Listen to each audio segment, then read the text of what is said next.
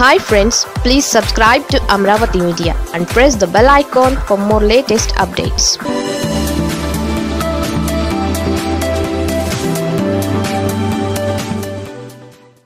Nimmagadda నీతులు అవి బయటివారికేనా? రాజ్యాంగం గురించి నిమ్మగడ్డ రమేష్ కుమార్ మాట్లాడుతుంటే నవ్వొస్తుంది. ఆయన గత తొమ్మిది నెలల నుంచి అనుసరిస్తున్న వైఖరులను చూస్తే ఆయన నీతుల గురించి మాట్లాడితే ఎవరికైనా నవ్వు రాకమానదు చీఫ్ సెక్రటరీ తనకు రాసిన లేఖ తనకంటే ముందుగానే పత్రికలకు లీక్ అయిందని రాజ్యాంగ విలువలను కాపాడాలని నిమ్మగడ్డ రమేష్ కుమార్ కోరారు. నిజంగా గురువింద సమేత నిమ్మగడ్డ రమేష్ కుమార్కు సరిగ్గా సరిపోతుంది. గతంలో కేంద్ర హోంశాఖకు రాసిన లేఖలు రాష్ట్ర ప్రభుత్వానికి రాసిన లేఖలు అందరికంటే ముందుగానే కొన్ని పత్రికలకు ఎలా చేరాయో నిమ్మగడ్డ రమేష్ కుమార్ మర్చిపోయి ఉంటారేమో.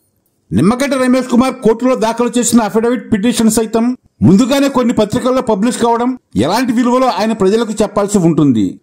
కానీ ఇప్పుడు మాత్రం రాజ్యాంగ ఉల్లంఘనలు ప్రజాస్వామ్య విలువల గురించి నిమ్మగడ్డ మాట్లాడుతుండడం విచిత్రమే.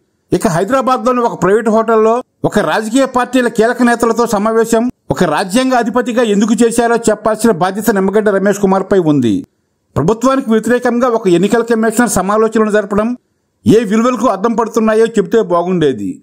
కానీ అవతల వారికే విలువలు ప్రజాస్వామ్య హక్కులు ఉంటాయి. మన దగ్గరకు వచ్చేసరికి హక్కులు విలువలు జాంతనాయి. దేశాన్ని రాష్ట్రాన్ని ఉద్ధరించే వ్యక్తిగా బిల్డప్ తప్ప మన వ్యవహార శైలిని ప్రజలు గమనిస్తున్నారని గుర్తుంచుకోవాలి. కరోనా లేదంటూ నిమ్మగడ్డ రమేష్ కుమార్ ఎన్నికల షెడ్యూల్ విడుదల చేశారు.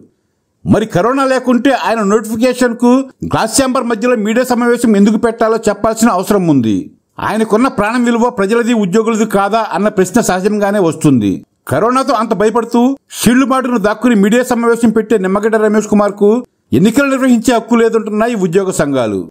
వారి వాదన సమంజసం కాదంటారా నిమ్మగడ్డ గారు?